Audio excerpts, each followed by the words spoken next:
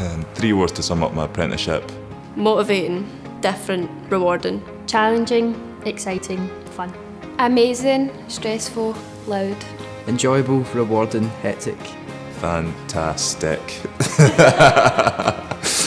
Can I say that?